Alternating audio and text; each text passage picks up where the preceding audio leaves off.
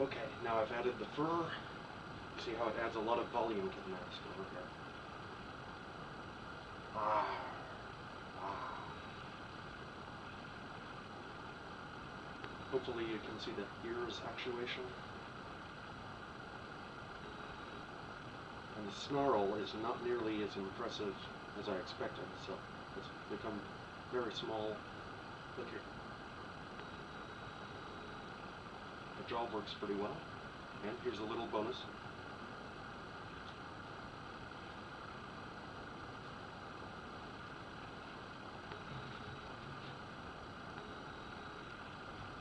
Always want to have one bonus that people don't expect like this.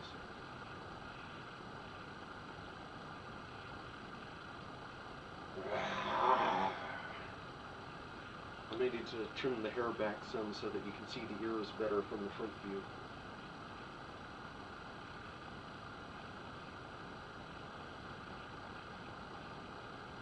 So, but no costume is ever finished. You just decide it's time to go on and perform. Add a little eye makeup over here.